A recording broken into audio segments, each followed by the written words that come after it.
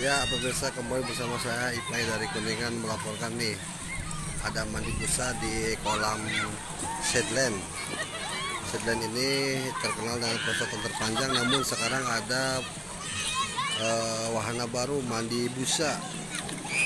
Jadi seperti ini pemirsa mandi busa. Tuh, jadi keseruan para pengunjung yang berada di kolam anak nih busanya keluar begini.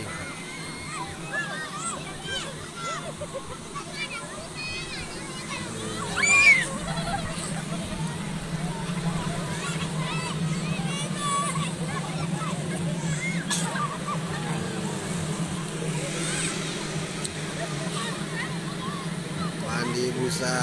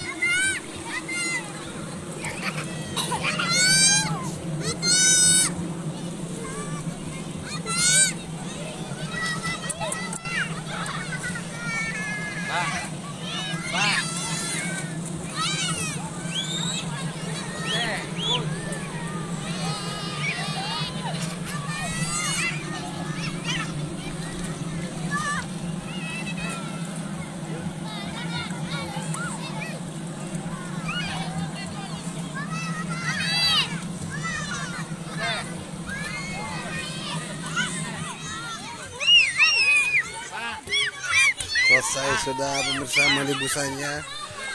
Ya, seru banget nih.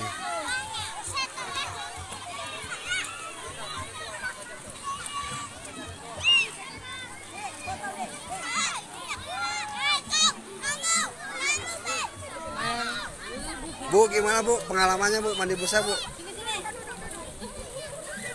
Ah. Tuh. Ibu-ibu juga senang pemirsa bawa anaknya.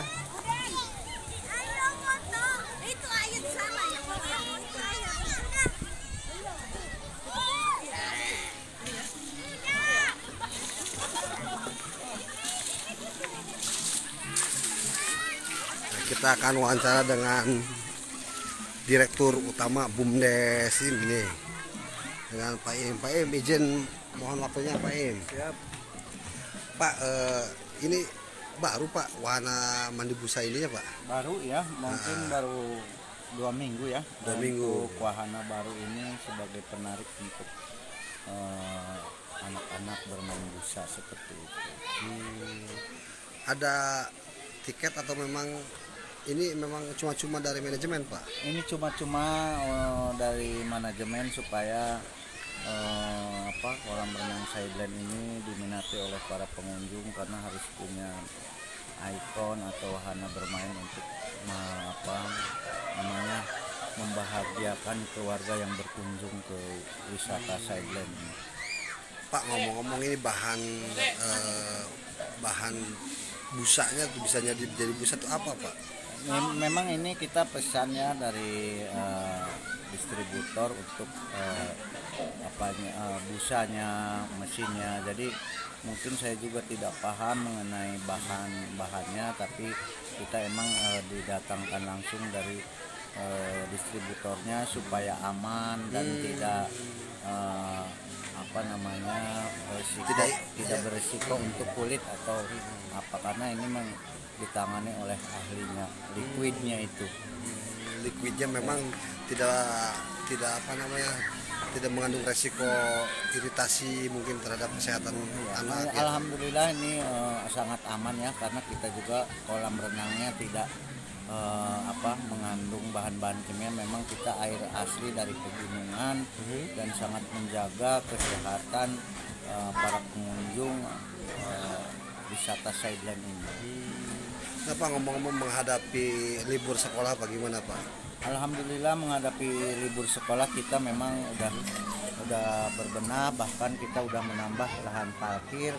Yang mungkin kalau secara ini sih bisa udah bisa digunakan tapi belum 100% eh, normal ya untuk lahan. Tapi alhamdulillah bisa aman lah untuk parkir. Ada terbaru nggak Pak? Fasilitas selain parkir ataupun mandi busa gitu sih. mungkin ada fasilitas ada yang eh, permainan-permainan anak kami Oh, iya, eh, sediakan seperti mandi bola ada balon untuk perosotan permainan anak yang mungkin hal baru seperti itu Nah untuk tiket masih tetap sama Pak? kita memang dari awal tiket nggak ada kenaikan ataupun eh, di apa liburan atau apa kita memang standar seperti itu jadi harga tiketnya untuk anak-anak 10.000 untuk dewasa 15.000 baik kalau rombongan kita apa di atas 50 50 orang ke atas itu ada diskon eh, 10% untuk eh, rombongan seperti itu. Baik Pak Im, terima kasih atas waktunya. Ya. Demikian tadi keterangan dari Pak Im sekaligus pengelola ataupun di Direktur Utama BUMDes Kaduela. BUMDes Area Kumuning Desa Kaduela. Makin sore pemirsa terlihat cukup padat juga. Pengunjung silih bergantian. Dan memang kolam ini tidak pernah sepi nih dari pengunjung. Terlebih dengan fasilitas wahana perosotan wahana perosotan yang memang menjadi ikon. Ikon di kolam renang desa Kaduela ini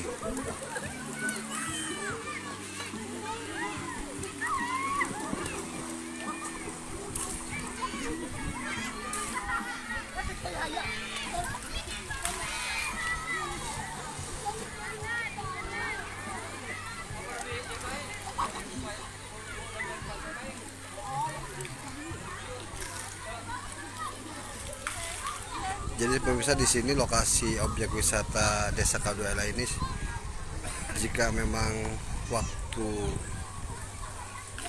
jelang malam ataupun sore seperti ini lokasi wisata ini cukup menarik karena suasana alam dan kesegaran udara langsung dari kaki Gunung Cermai.